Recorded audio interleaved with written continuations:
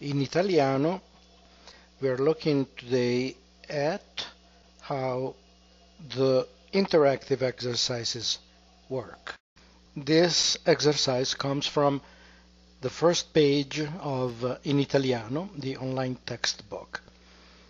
At the very top, in the gray bar, it says Esercizio Traduzione, and it's intuitive. You have to translate the input words.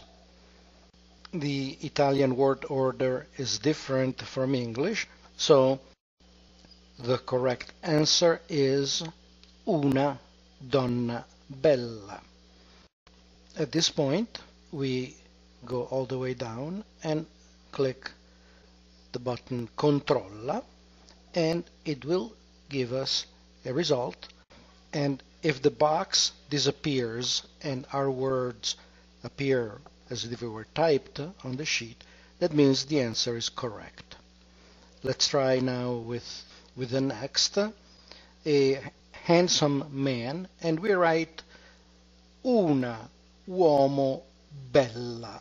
Well, obviously we know that this is a mistake, but I wanted to show you how it works in case of a mistake. We click Control, we click OK, and we still have the box with our incorrect answer. We click Control, click OK, and now the answer is right. How do we know that? It's because the box disappeared. Now I'm going on with the next examples.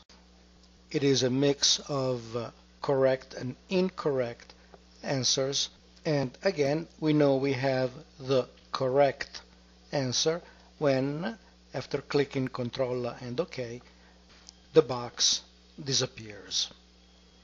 Here is another example of a mistake. Un uomo Italian. The mechanism will let us know that it is incorrect until we get un uomo italiano and the box disappears. And so we get to the end. There was a problem here too. You probably caught it. And now it's done. Pay attention here. This is a very important feature. When you finish the exercise and you click OK, you will see a score in percentage. In this case, it's uh, 71. Why 71 and not 100 since all your answers are correct now?